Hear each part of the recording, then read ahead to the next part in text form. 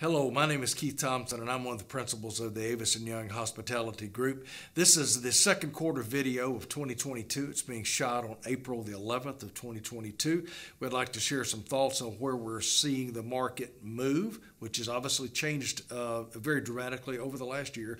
But we have some thoughts about where we see this market heading that we would like to share with you. So again, this is the hospitality market video for second quarter 2022. The current hotel market for 2022 is expected to be almost a full recovery, which is about a year earlier, year and a half earlier than uh, expected, almost to be full recovery from COVID by the end of the year. RevPAR estimate for 2022 is to be at 98% of 2019 RevPAR.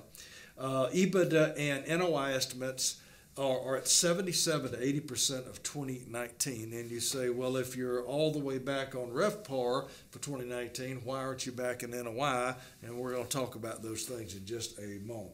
We're in the seventh inning. If you think of this market as uh, you would a as you would a baseball game, we're in about the seventh inning.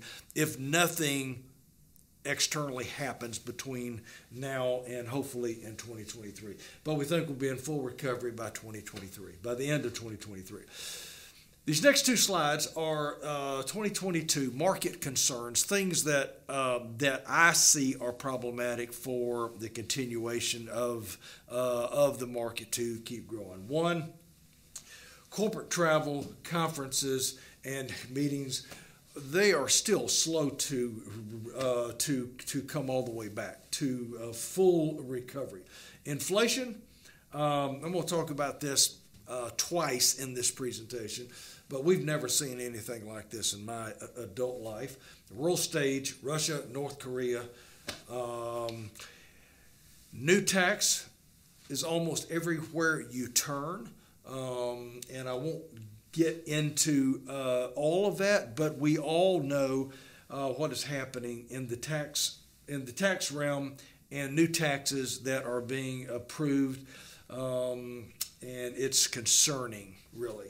Uh, cost of living, housing, food, transportation. I've never seen it like this in the three decades I've been selling hotels. Unions, property taxes, and insurance. Um, this is a problem this could potentially be a problem. This is going to be a problem. Cost of payroll. Um, again, we're going to talk about that a little more as we get into it. Um, all right, understanding this current market. Um, it's very difficult to frankly understand it. It's almost, uh, you know, my last uh, last point. It's really day by day and week by week because it seems like something's changing almost every week. Uh, but understand this market. The the most significant shift is in housing. What I mean by that is just the sheer cost of housing, apartments, rent, and uh, it's it's it's just unlike anything I have ever seen. Um, you know, I did a little uh, you know homework on this, and to meet the population growth for the United States for the next five years, now it could be a single family home, it could be an apartment, a condo, uh, you know, it, it, it, um, just housing uh, to meet the population of uh, United States for the next five years, uh, there has to be 7,000 new units. Well, again, whether that's single family, apartments, condos, whatever it is, there's going to be 7,000 new a day every day to meet the population growth of the United States. Um, but uh, the cost of housing uh, in, a, in many areas, um, we have a uh, home on the south side of Atlanta and a uh, second home uh, on uh, the other on the north side of Atlanta. And on the north side of Atlanta, home prices have doubled literally in the last year. Uh, and I'm not exaggerating. Now, when I say double, I mean sometimes 150% over what it was 12 to 18 months ago, but primarily in the last year, the values of homes. Now, I don't mean anything super fancy. I'm talking about a normal house in a subdivision. Prices have doubled, if not gone up 150. Uh, percent. Payroll, um, understanding this market, uh, it, it's I mean it's just changed. That's just all there's to it. It, it. It's what the employee expects, and they basically expect everything. The uh, loyalty um, is non-existent, almost non-existent anymore. And uh, the problem is, you hire someone, and you know you have to turn around because they're getting a better job, a better offer, and they're gone in, in three months. I've got a good friend of mine.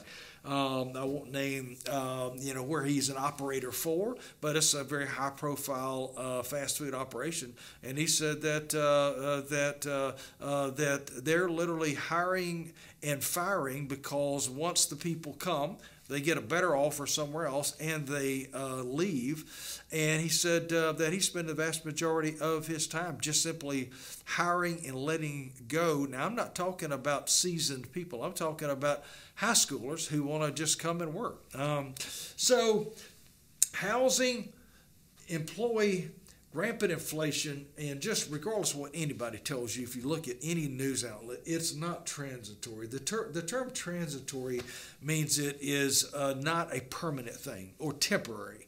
That's what transitory means. And the news would have us think it's not transitory, and uh, or, or excuse me, uh, um, they would have us think it is trans- uh, transitory, but it's really not.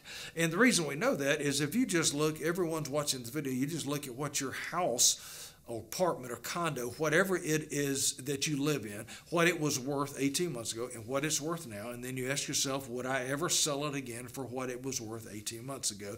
And the answer to that is no. Um, and so it's not transitory, even though the, the, the media would love for us to think all this is just going to come back down. I'm talking bread, milk, housing, gas. Uh, electricity, uh, you know, just all of it is up. I mean, I got some pine straw um, installed at my house over the over the weekend, and it was seventy percent greater than it was last year. Um, so it's not transitory. Uh, the difference between right and wrong, I'm not going to go into this because that's just not uh, the place to do this, but we all see the news, and it just seems like something has really shifted in the last, you know, 10 to, to call it 10, 10 to 14 months, 10 to 18 months. But something has changed in the fabric of America to where there's now uh, uh, the, uh, the difference between right and wrong as we saw it again 10, 8, 10 uh, you know, 10, 12, 18 months ago. It, I mean, it's just changed. Uh, I don't have any explanation. Market view is really day by day, week by week. So, where we understand this market, the understanding of it is changing literally day by day and week by week, depending on what happens in that uh, situation. All right.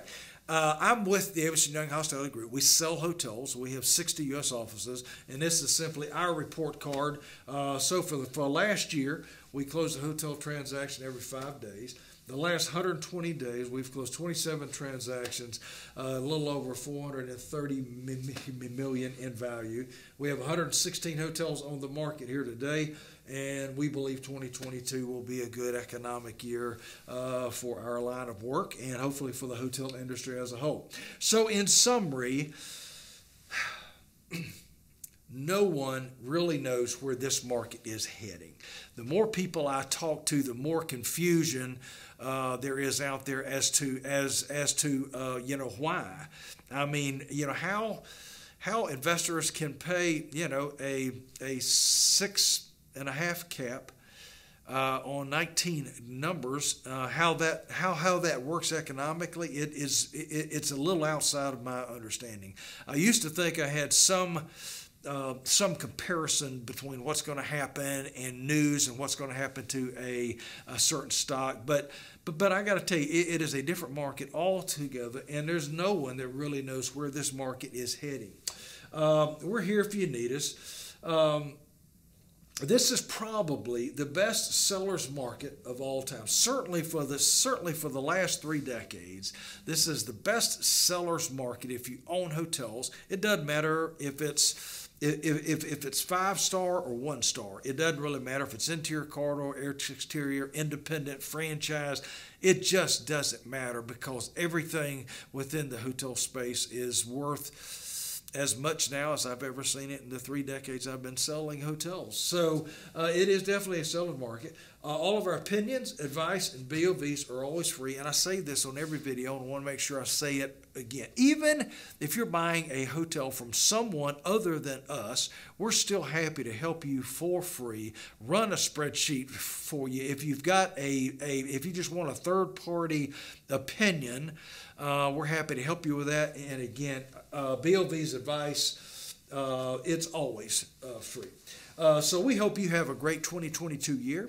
Uh, again, my name is Keith Thompson. I'm with the Young Hospitality Group, and we hope you have a great 2022 year. Let us know if we can be of any help to you, and thank you for watching this video. All the best. Bye.